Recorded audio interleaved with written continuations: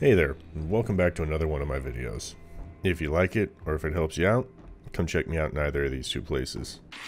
Alright, so since Hunt Showdown is something that I know a little bit about because, well, I've done it once or twice. In fact, you could even say that I've Hunt Showdown several times. And I talked about in my last guide 20 tips that will help out the new or less experienced player. And in that guide, I said that the single most important thing you could do is to just try to do things, be assertive, take initiative. Well, the second aspect of that is your most powerful, useful, important resource is your team. Um, your team is more important than what gun you have, is more important than your loadout, your throwables, whatever perks.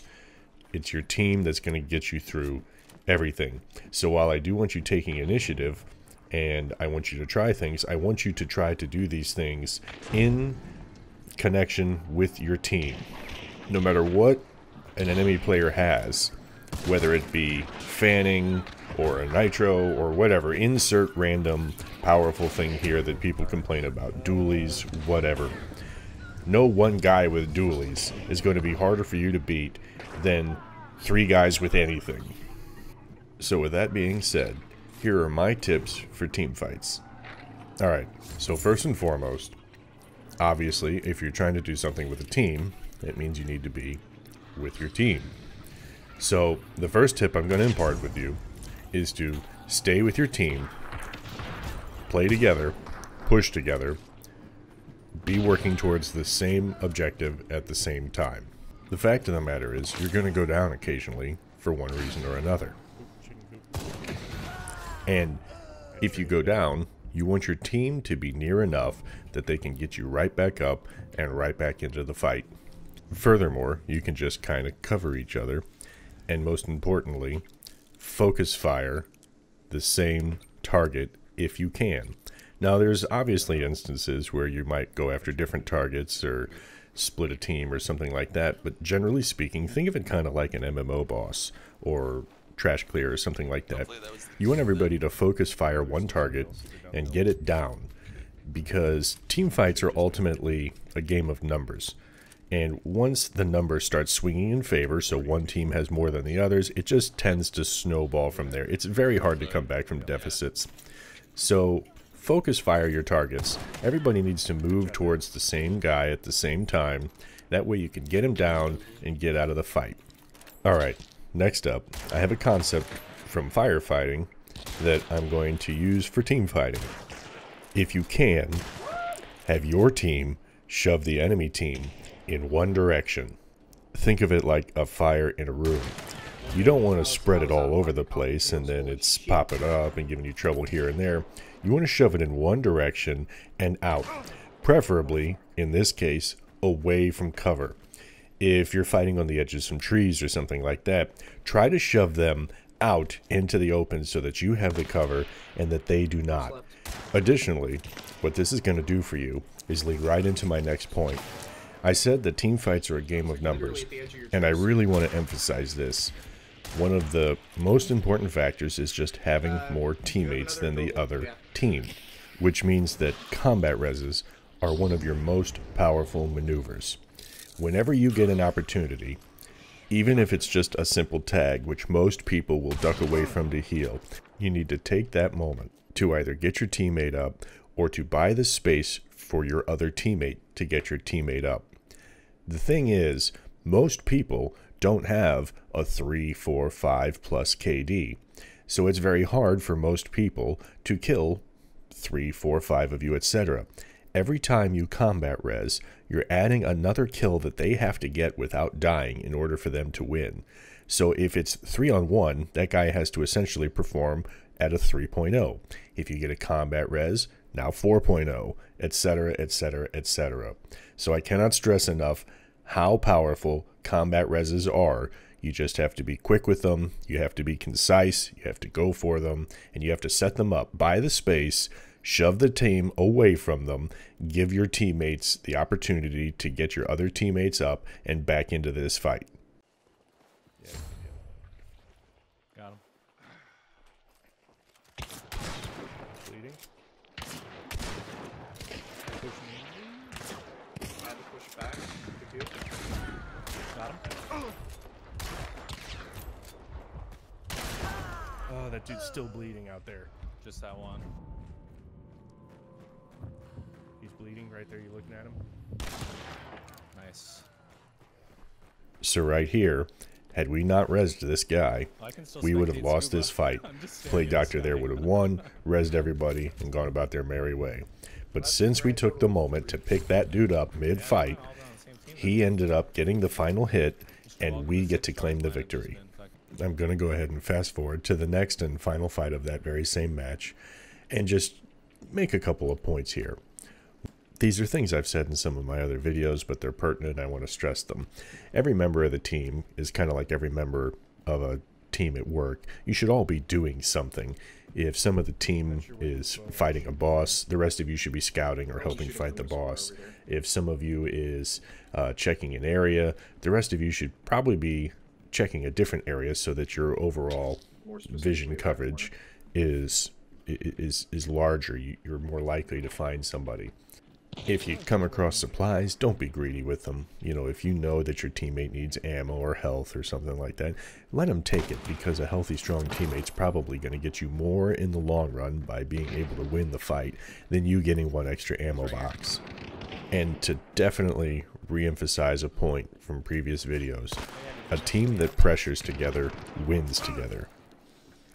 To the point of like, even though I'm bleeding right now, I don't have to stop and heal because that guy has really no choice but to back away from us. So we just get to keep the utmost of pressure on him and get the kill. And this is right back into how important it is to focus fire, push together, shove them in the same direction, all of that. And then just to make one more point, one of the reasons that it's nice to hold one direction is because for as much as you want to be able to push together, you also want to be able to retreat together. One of the very important things you can do is if you start getting pressured or pushed, you need to back up. You always back away from from a threat and give yourself the room you need to work with. So if your teammate needs to back up, you need to be there so that you can cover that retreat. If they get hit or tagged or whatever and they have to back out and heal, make sure that the enemy doesn't just get to freely push them. Now, I don't happen to have a clip on hand uh, of using this that results in a kill, but I'm just going to demonstrate it real quick right here so you can see what I'm talking about. I got you covered if they chase that.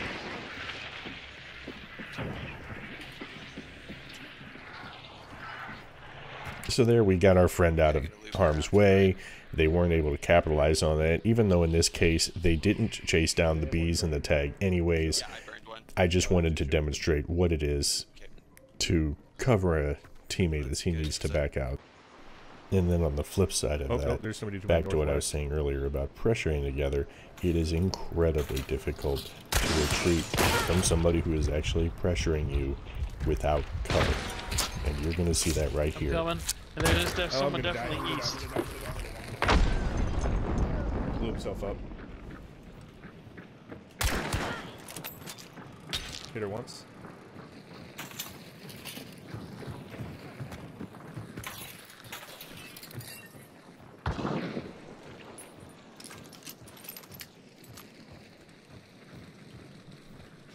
Right behind this block.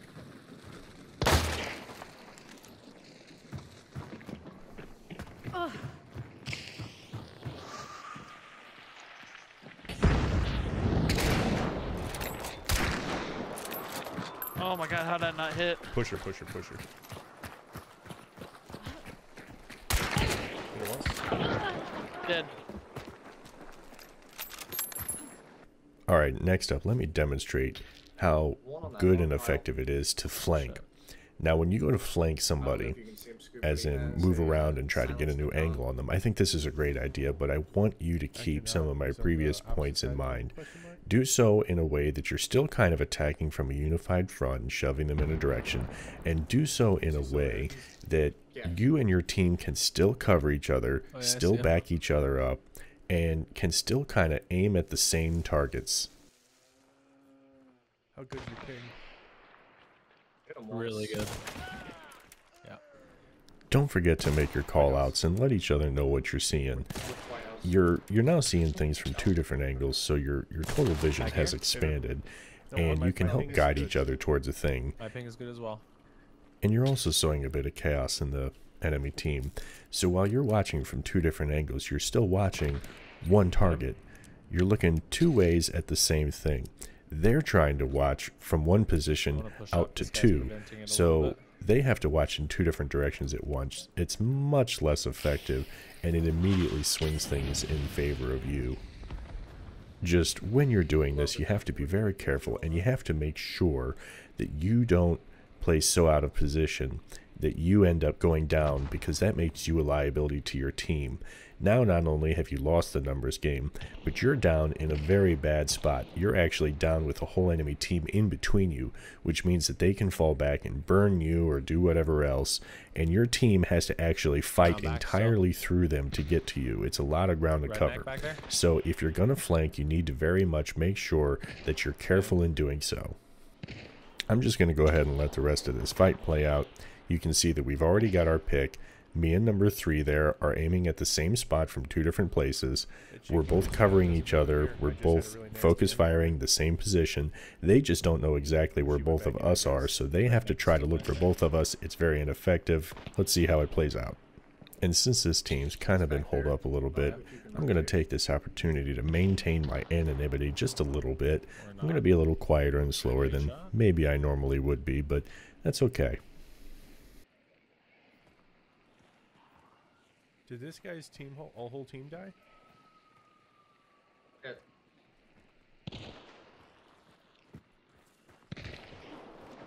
Damn, dude. Where is this guy inside? Up on the uh, right top of the ladder.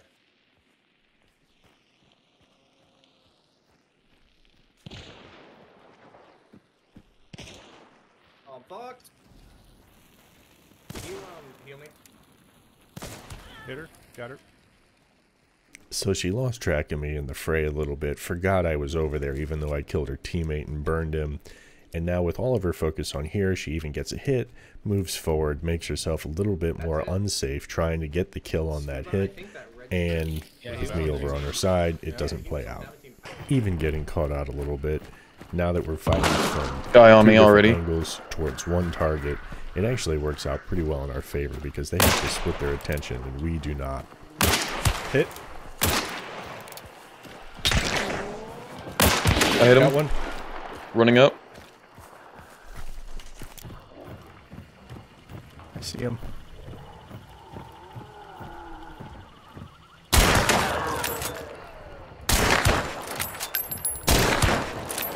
Two of them are hit in there. One's dead.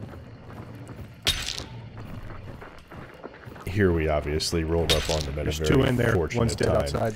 So what we can do now is take advantage of that early pick. We've got them pretty much pigeonholed in one spot. I hit We have free reign to move and reposition about around them. pretty quick. As each one of us shoots and gets a tag, that lets the others advance, move, sidestep, flank a little bit. We can use all of this to our advantage. Hit one on the keep them right. pressured, keep getting favorable He's be angles. Hurting. Keep this team fight rolling in our favor. Making He's sure outside they on never the- get that combat back to the right side? It's it's. Yeah. Oh, he's Uh, his other got friend's back, out he got back in the bush.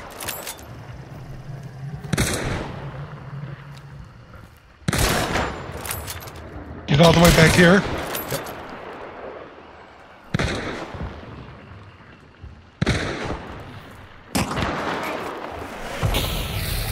Taking out a meathead.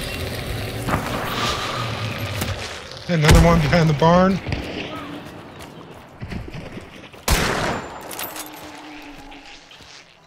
I'm healing.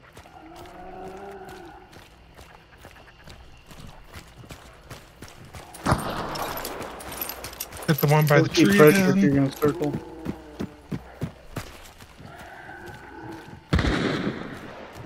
They gotta be running out of heals. He's running behind there.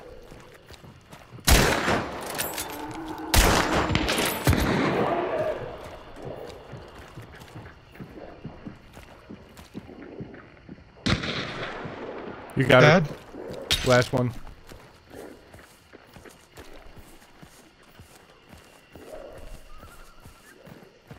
We want to push them? Yeah, push together, but from you know different angles, but cover each other.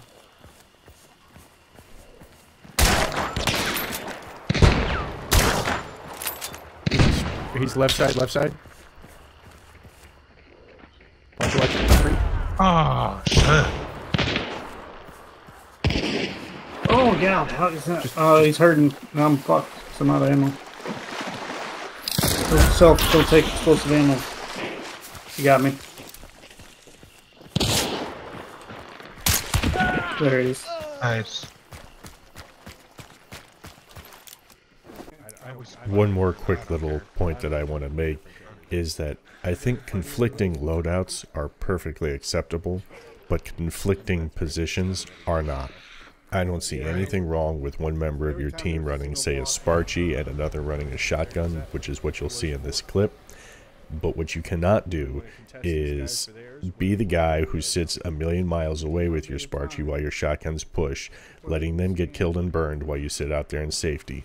Or, another example is if you're defending a boss compound, if you have a rifle, you probably don't want to sit in the boss lair itself, which I personally don't like to begin with. But if your teammate has a shotgun, he might. It is ineffective for your teammate to sit in the boss lair and then you sit further out. You cannot cover the same things, you cannot cover each other, and if one or the other of you goes down, the other guy can't get to him. So conflicting loadouts, fine, but make sure that your loadouts are both working in conjunction with each other and towards the same goal. Other than that, I think that conflicting loadouts are perfectly acceptable and in fact can be good. Right here you'll see that I can get a guy that my teammate might not have been able to.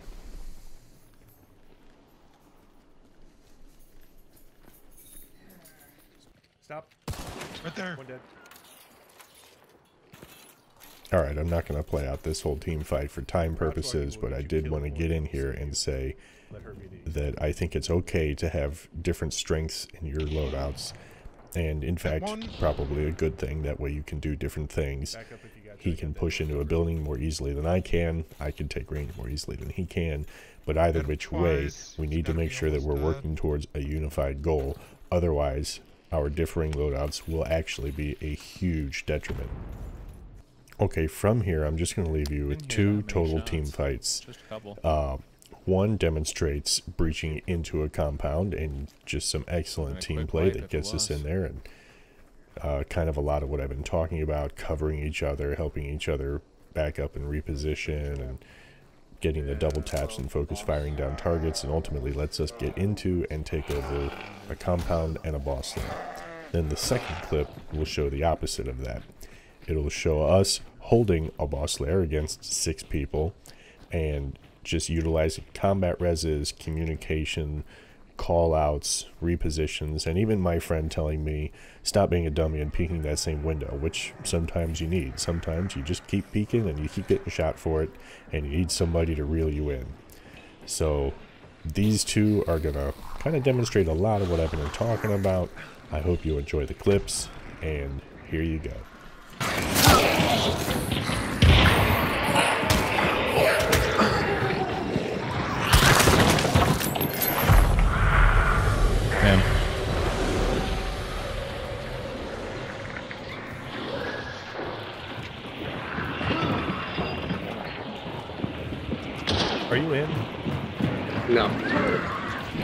There's one right here, watching this door. Watch it, watch, watch, watch the three. He's like right there.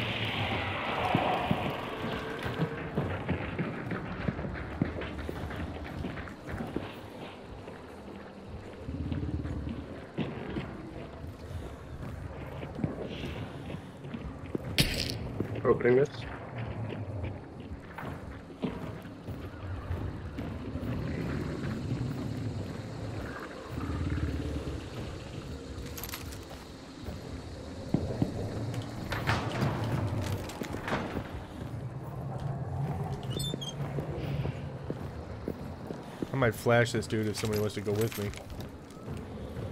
He's sitting on the steps right, here. Sitting on the steps, alright.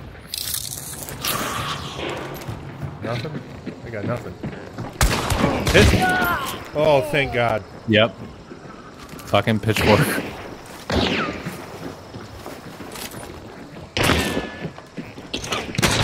Hit her once. I hear a shotgun reload.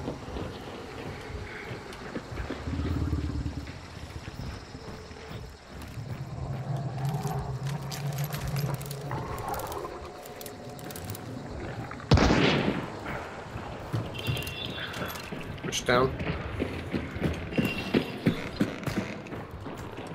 Push back up. He's right there. Ooh.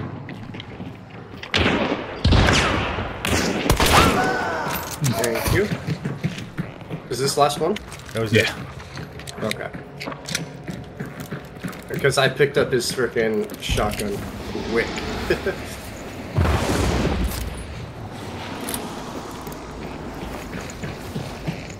That was some excellent team play, gentlemen. Yep, good shit. Is this your Sparchy? No.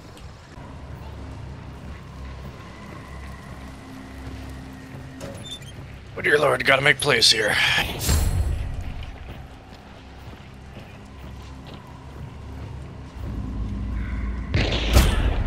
Wow, shot me through the, uh...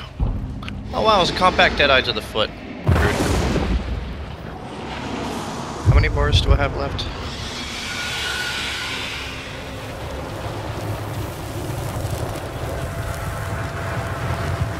Black shirt, female, with a Springfield compact behind that uh, building next to y'all. Grab the 90 right away. Never mind.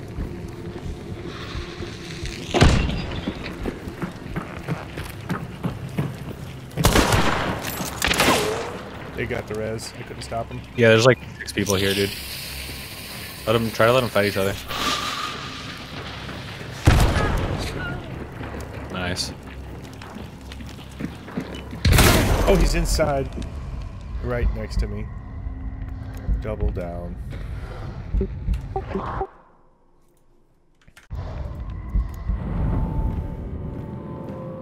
See through the wall.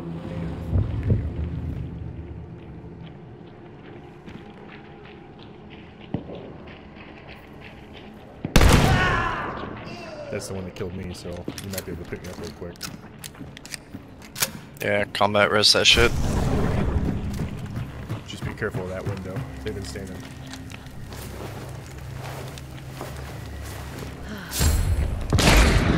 Oh, I took that shit for you, bro.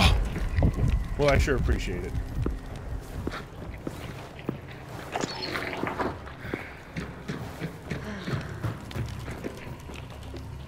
And guess what? I'm a health charge back, and then that's it for our arrow guy.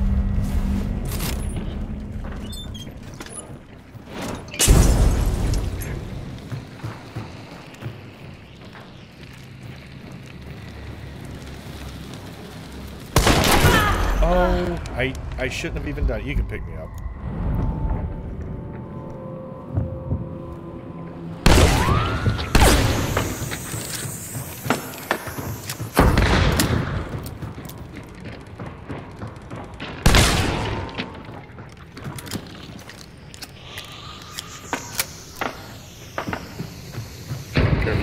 Straight out that window.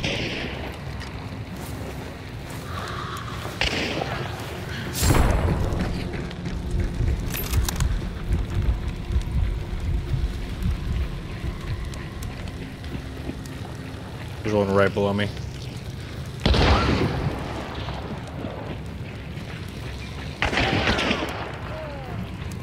Back up to me. Don't peek the window anymore. Okay. They're gonna lose their teammate.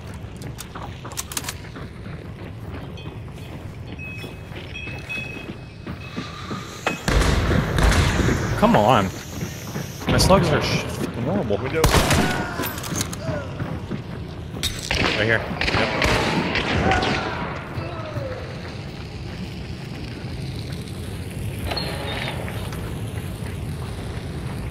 I mean, fuck it, I have the health for it if you want to go for the necro again. Yeah, just one left, I think.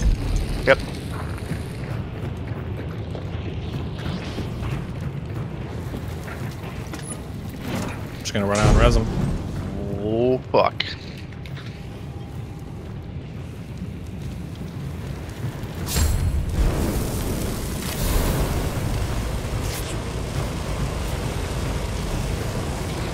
Oh, he's he just ran in up here. He's right in front of me, up top level. Wait. Nice. It. Alright guys, we made it to the end of another one. If you hung out with me this far, I really appreciate it. I love it when you guys check my stuff out. I do it so that I can help people because it's fun. So if you get anything out of this, I'm really glad you did. Let me know. I appreciate hearing from everybody. As usual, you can catch me here and here. And if you want, come catch me live. I'd love to answer any questions you have. You can kind of see what we got going on. We got a good thing going over there, so feel free to stop in, say whatever you want, leave me feedback, ask me anything. I'll help you out the best I can. And if you found any of this useful, helpful, entertaining, whatever, as usual, drop me a like, follow, subscribe, any of that stuff. Leave me a comment. Let me know what you liked, what you didn't. That's what helps me out. We're still honing this process, and your feedback helps me do it. So feel free to drop a line one way or the other. Let me know what's going on. We'll see you guys next time. Thanks.